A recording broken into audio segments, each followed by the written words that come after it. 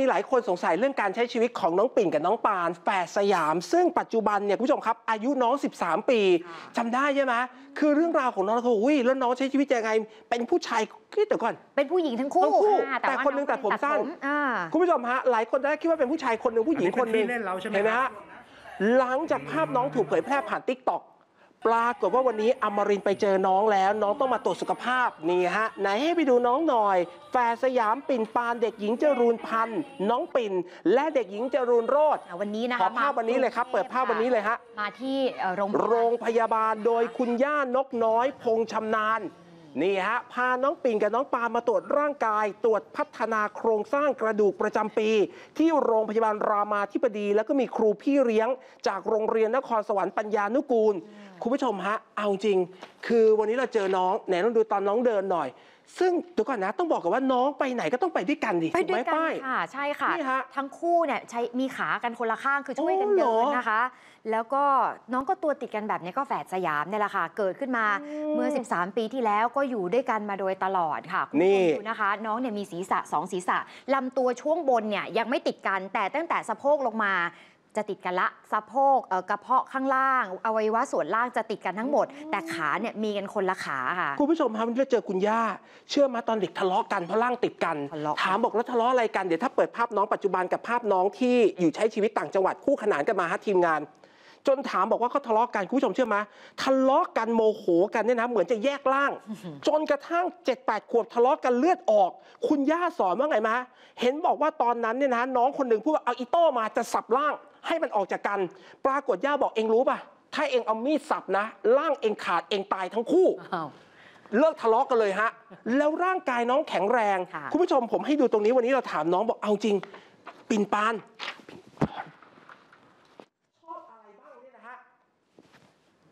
โดยเบื้องต้นเนี่ยปิ่นกับปานมีสิ่งที่ชอบกับไม่ชอบแตกต่างอะไรยังไงกันบ้าง ใช่ค่ะ เรื่องของอาหารน้องปิ่นจะชอบพวกเมนูเส้นก๋วยเตี๋ยวน้องปานจะชอบทานข้าว น้องปิ่นจะเป็นผู้หญิงผมยาวรักสวยรักงาม ส่วนน้องปานจะห้าวๆเหมือนเด็กผู้ชายโอ้ก็เลยตัดผม น้องปิ่นอยากเป็นครูสอนวิทยาศาสตร์ส่วนน้องปานอยากเป็นครูสอนภาษาไทย คุณผู้ชมวันนี้เราให้ดูความเคลื่อนไหวหรือการใช้ชีวิตประจำวันเนี่ยนะครับ อย่างที่บอกเขาจะบังคับขาคนละข้าง ปิ่นไปข้างหนึ่งปาไปข้างหนึ่งแล้วแขนก็ต้องให้คนละข้างใช่ค่ะ นี่คือการบังคับร่างกาย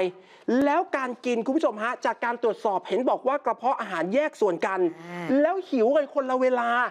สมมุติว่าน้องปิ่นหิวก็กินได้ค่ะเพราะน้องปานก็จะไม่หิวเออถูกไหมฮะคนละปากถ้าอิ่มก็คนละปากอีกเหมือนกันครับคุณผู้ชมฮะเมนูโปรดก็ไม่เหมือนกันอืมอ๋ออีกอันหนึ่งที่อันเนี้ยสังคมอาจจะถามเอ้าแล้วเรื่องการขับถ่ายล่ะเป็นยังไงป้ายเรื่องการขับถ่าย เนื่องจากว่ากระเพาะปัสสาวะ แยกกัน เพราะฉะนั้นต่างคนอาจจะต่างปวดได้ แต่ถึงเวลาออกมาทางเดียวกัน ส่วนอุจจาระพร้อมกันเพราะลำไส้ที่กินเข้าไปสุดท้ายไปรวมกัน ก็เลยจะปวดพร้อมกันทั้งคู่ค่ะ เดี๋ยวก่อนนะ อุจจาระก็เลยจะปวดพร้อมกัน ใช่แต่ถ้าปัสสาวะก็คือเช่นปิ่นปวดปาไม่ปวดแต่ก็ต้องเข้าพร้อมกันใช่ค่ะ นี่ครับคุณผู้ชมฮะเพราะฉะนั้นวันนี้เราถามกับน้องเนี่ยนะฮะบอกว่าจริงๆอยากเป็นครู อันนี้ตรงกันเลยแสดงว่าเขาอยากเป็นครูด้วยกันทั้งคู่ และที่สำคัญเขาจะมีครูพี่เลี้ยงซึ่งคอยดูแล วันนี้เราได้คุยกับน้องสองน้อง ค่ะ ถามว่าเอาจริงเวลาเดินอะไรต่างๆ เหนื่อยไหมเพราะถ้าดูภาพเวลาน้องใช้ชีวิตเนี่ยนะครับเพราะหลายคนบอกไงว่าเหมือนกับร่างน้องจะหนักใช่ไหมแล้วน้องมีสองขาแล้วเหมือนแบกสองคน น้องบอกเอาจริงไม่เหนื่อยที่สำคัญโอ้ยใครจะเติมฝันให้เด็ก อยากไปเที่ยว Dream World อยากไปเล่นเครื่องเล่น อยากเห็นตามในคลิป บ้านหนูอยู่นครสวรรค์ยังไม่เคยไปเล่น ที่นครสวรรค์เนี่ยเห็นบอกว่าจริงๆเพื่อนๆบางคนเขาคุยกันแล้ว ว่าเขาเคยไปและสนุกมาก นี่จะต้องมีคนสานฝันให้น้องหน่อยนะฮะเพราะว่ากลายว่าน้องอยากไป Dream World ค่ะยังไม่ได้ไปแล้ววันนี้เข้ากรุงเทพมาตรวจแล้วก็กลับไปแล้ว คุณหมอชมว่าโตไวโตไวแล้วก็เดินเก่งขึ้นแล้วก็เดินเก่งขึ้นเออ เหนื่อยไหมเวลาเราเดินอย่างเงี้ยไม่ค่ะ ไม่เหนื่อยเราก็เดินได้ปกติเลย แล้วทุกวันนี้ยังยังมีทะเลาะกันอยู่ไหมเนี่ย อืมยังมีเป็นบางครั้งค่ะ เรื่องอะไรส่วนใหญ่ถ้าคือทะเลาะกัน โทรศัพท์ค่ะ อ่าทำไมเธอมีมีอยู่เครื่องเดียว แล้วมันยังไงฮะ แย่งกันดู แย่งกันเล่น อ่าแลกกัน ส่วนใหญ่ดูอะไรในโทรศัพท์ YouTube YouTube กับ TikTok TikTok แล้วเคยเต้น TikTok ไหมเคยเล่นบ้างไหม ล่าสุดใครติดตาม TikTok น้องได้นะฮะ ใช่ไหมใช่ค่ะ หนึ่งสองสาม nm 94วันนี้ไหนเขาดู TikTok น้องหน่อยฮะ เห็นบอกน้องอัด TikTok แล้วด้วย วันนี้เลยนะ อ๋อ นี่ของเก่า ของเก่า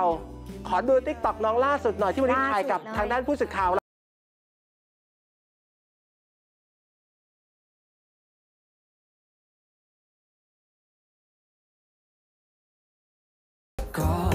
ดูออนไลน์ไม่สะดุดบนแอป 34 HD ดูสดกดโหวตทันกระแส ไม่อยากตกเทรนด์กดโหลดเลย อย่าลืมกดติดตามช่องอมรินทีวี และกดกระดิ่งแจ้งเตือนกันด้วยนะคะ เราไม่อยากให้คุณพลาดข่าวสารและรายการดีๆ กดตรงนี้เลยค่ะ